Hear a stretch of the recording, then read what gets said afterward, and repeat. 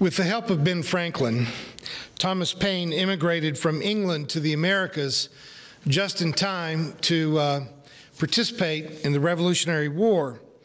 There had already been some battles between the, the British and the colonists before Paine arrived, but most people at that time were not thinking about a war for independence. They were just wanting better treatment from the British Crown. So Thomas Paine's face is not on Mount Rushmore. He wasn't invited to sign the Declaration of Independence. But I don't think it's a stretch to say that neither one would exist if Thomas Paine hadn't come to America and begun to share his philosophical and political thinking with the rest of the colonies. He started out writing letters to the editor of various Philadelphia newspapers. You got to respect that.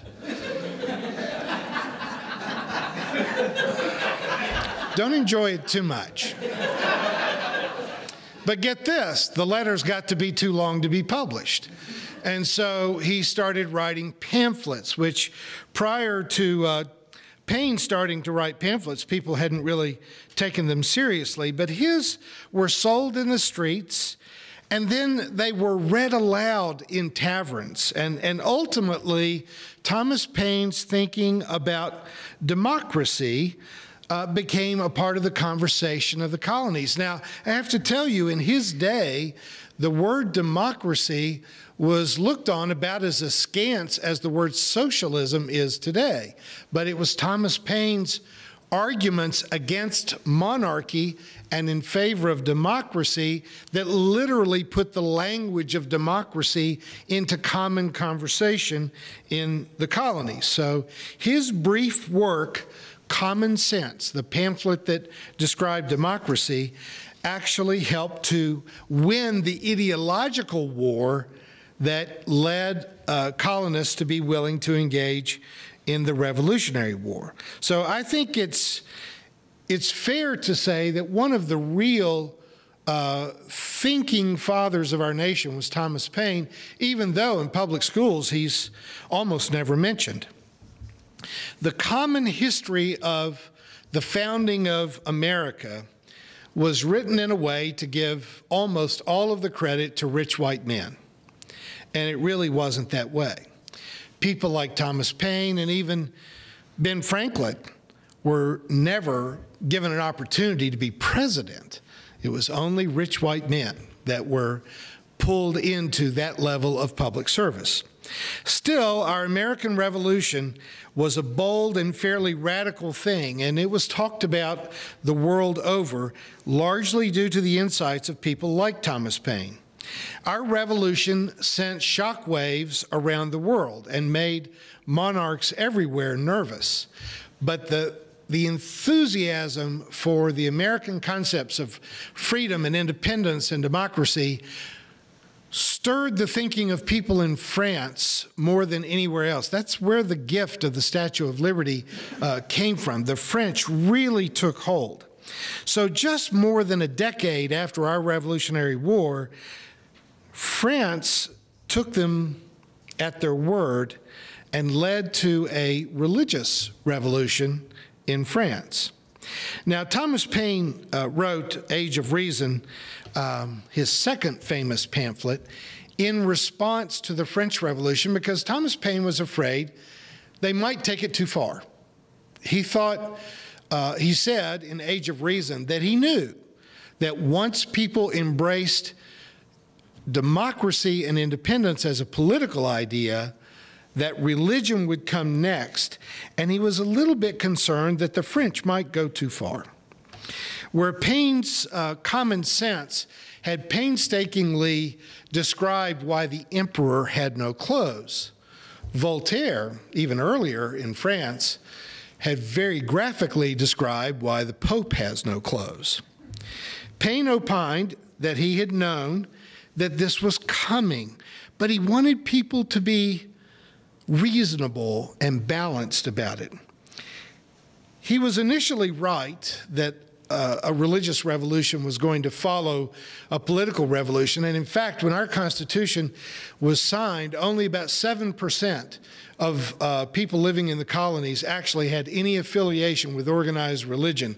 Thomas Jefferson had said uh, that within his lifetime, that every man alive in uh, the colonies would die a member of the Unitarian Church. He, he thought organized religion as it had been known at that time was going to pass out entirely. And it looked like it was going to. It faded away in France, faded away in the Americas. We had a revival that led to certain European revivals. We've had at least three periods of great American revivalist moods that regrew the populations of churches. Now, it hasn't happened in France. France increasingly became secular and more or less stayed that way. Great Britain, much the same. If people go to church at all in Great Britain, other than very small uh, progressive groups that I get invited to speak to. I, I think the largest group I spoke to this last trip I took to Great Britain was only about 50 or 60 people. There's just very small churches. So if there's a big church, it's sort of like our Six Flags Over Jesus. It's, it's, uh, it's almost always a far right wing group. But in the latter part of the 18th century, it was common for Thomas Paine's pamphlets to be read in toto in public places like taverns.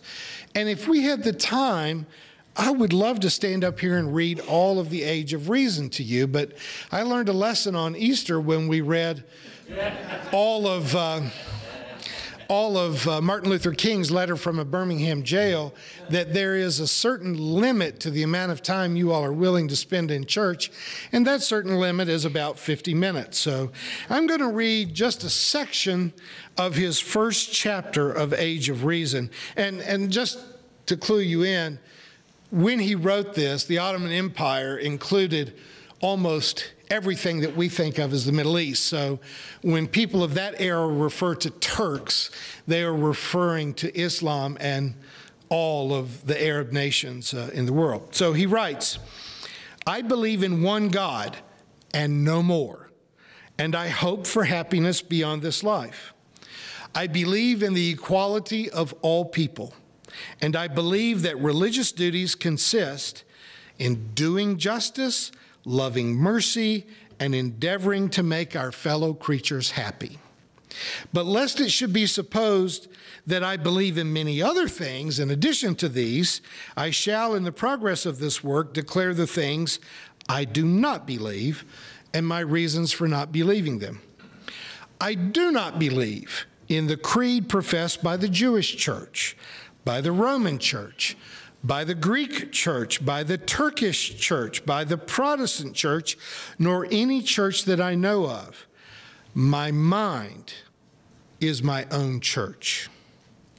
All nations, institutions of churches, whether Jewish, Christian, or Turkish, appear to me no other than human inventions set up to terrify and enslave humankind and monopolize power and profit. I don't mean by this declaration to condemn those who believe otherwise. They have the same right to their belief as I have to mine, but it is necessary to the happiness of man that he be mentally faithful to himself. Infidelity does not consist in believing or disbelieving, it consists in professing to believe what you do not believe. It is impossible to calculate the moral mischief, if I may so express it, that mental lying has produced in society. When a man has so far corrupted and prostituted the chastity of his mind as to subscribe his professional belief to things he does not believe, he has prepared himself for the commission of every other crime. He takes up the trade of a priest for sake of gain and in order to qualify himself for that trade, he begins with perjury. Can we conceive of anything more destructive to the morality of humankind than this? Now, it always amazes me that such plain spoken truth was available in print hundreds of years ago. And yet it seems most of us who were reared in the church were put through the same kind of brainwashing that Voltaire and Thomas Paine so seriously and articulately decried. Paine feared that the French, once they took all the property from the church and dismissed all of the priests, that they might go too far and abandon morality entirely.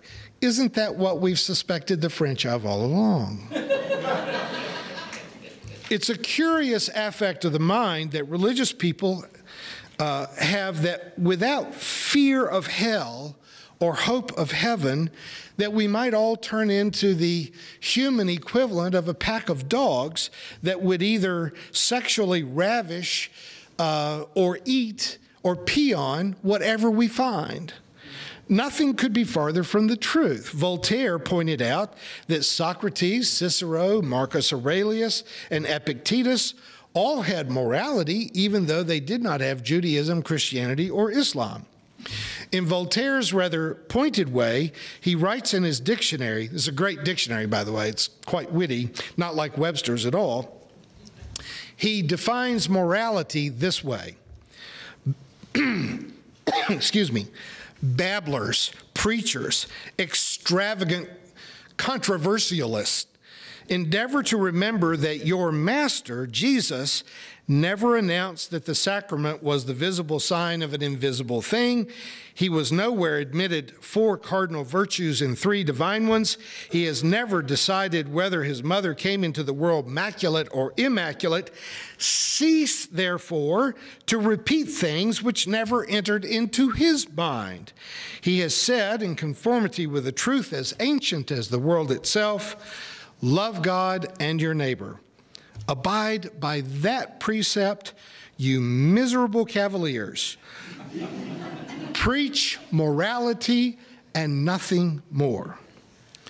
Now, by the way, a cavalier in Voltaire's parlance meant someone who was flippant, and it carried with it the implication uh, of being a man who had affairs with married women. Now, how that became the name of a basketball team, you're going to have to find that somewhere else. I don't get the connection there at all. Still, more than 200 years ago, in both the newly independent United States and in the much more ancient nation of France, published thinkers were calling out the fake facade of creedal religions and insisting that spiritual people focus on morality rather than beliefs. What we hear often talk about the primacy of orthopraxy over orthodoxy, how you live rather than what you say that you believe in. I find it especially revealing that Thomas Paine could say that for a priest to become a priest, he or she must begin by committing perjury. That is, in order to be ordained, a priest or a pastor in almost every denomination other than Unitarians and humanists has to stand up for an examination either in front of a presbytery or a, a group of elders, or in, in my heritage, in the Christian church, it had to be in front of an entire congregation. A few years ago, I was, uh, you know, we have these rebel groups that listen to our videos uh, hiding in basement Sunday school classes. They don't go to their church service, they get together and, and subversively watch one of our videos and discuss it. But uh, one of those well placed groups within a Presbyterian church that was searching for a new pastor, uh, they got my name in and they contacted me to see if I might consider coming to their community to be their pastor. And the guy who was charged with uh, calling me very sheepishly added, or you, would have to be ordained Presbyterian. And, and I said, before this conversation goes any farther, I want you to go and read the ordination vows, the examination to become a Presbyterian pastor, and see if in any drug induced wild imagination you could see me saying those things. He promised that he would take a look at it, and I never heard from them again. You, you stand me up in front of a congregation and start to ask me, Do you believe that the Old and New Testaments are the inspired Word of God and salvation is possible only in Jesus Christ? And I will answer those questions, but my answers would probably knock the mortar out from between the bricks at a Presbyterian or Methodist or Episcopal or Baptist or Disciple church. Before we started our little progressive church here, I had applied to teach preaching in a religious college in New York. And the president of the college was quite enthusiastic. He contacted me, but again, with some trepidation, he faxed me a, a copy of the pledge that all professors had to sign to teach at King's College. And it was the same thing. Uh, a very wealthy man had set up the college with a large donation, but with that donation, he insisted that everyone that taught there sign a pledge that they believed that the Old and New Testaments were the inerrant Word of God and that salvation was possible only in Jesus Christ. So I said to the guy, I said, You can't seriously expect uh, a real scholar to sign that statement.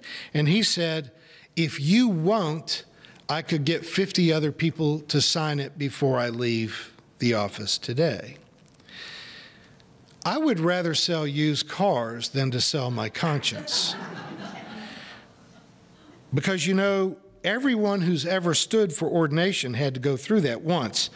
There was a time in my life when I was young enough and impressionable enough that I was willing to say those things in public, but I guarantee you it'll never happen again.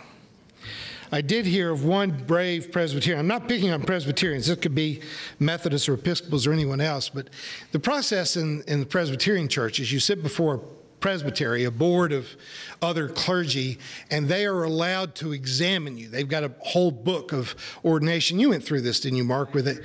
They can ask you any question that they want to from a list of a couple of hundred questions. And there was this one crotchety old preacher. You can imagine that that could be true. Um, that just didn't like this young man that was coming before them. And so he, he had just been giving him a grilling. And at some point, he pulls down his glasses and says, Young man, are you willing to be damned for the salvation of the world? and he said, Sir, at this point, I'm willing for this entire presbytery to be damned for the salvation of the world. But, folks, Voltaire and Paine, with no theological training at all, could look at every priest they had ever met 200 years ago and know with certainty that they had lied to get their job.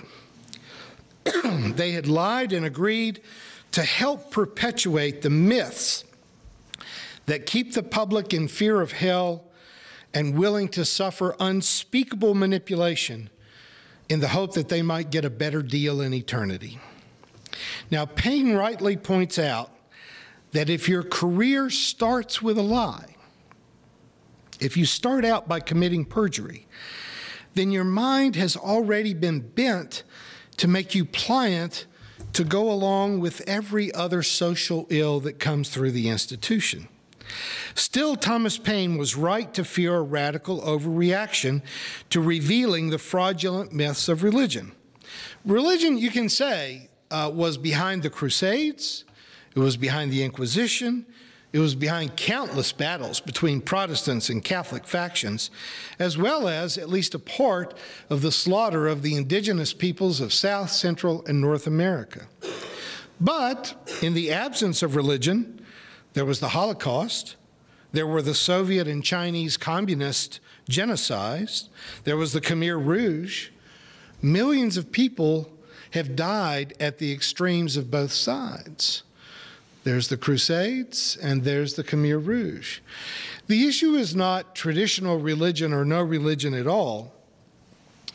The real issue is that we need to have a healthy spirituality that helps us to learn how to be good people. If you are an ordained minister who thinks, as Mike Huckabee is, who thinks that it is Christian to take children from families that are fleeing violence and poverty and starvation in Central America, if you think that's Christian, then what that means is the Christian religion has failed to meaningfully survive into the 21st century. And it is destined to take its place alongside the worship of Zeus and Odin and Baal. There is no First Church Baal in Springfield. You know, there is, there is a way in which Christianity can turn itself into a museum piece to remain historically curious, but morally irrelevant. In the Christian West, you can honestly say that capitalism has been used to impoverish and to enslave the masses in order to enrich a tiny minority. Amen. You can also say that in the largely atheistic East, communism has been used to impoverish and enslave the masses for the benefit of a tiny ruling minority. And we've all been asked in the East and the West to be willing to give our lives on the battlefield to defend one abusive system or the other. But always, in all places, the masses have been enlisted to serve the interests of a tiny ruling minority. I just think we all ought to stop falling for that. I'm not going to anymore, and I hope you won't either. Voltaire and Paine called for an age of reason, in which, to use Paine's words exactly, I believe that religious duties consist in doing justice, in loving mercy, and endeavoring to make our fellow creatures happy. Ladies and gentlemen, that's the only creed we'll ever need.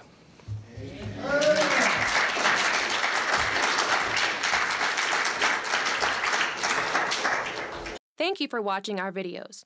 We are entirely dependent on the donations of our listeners and members.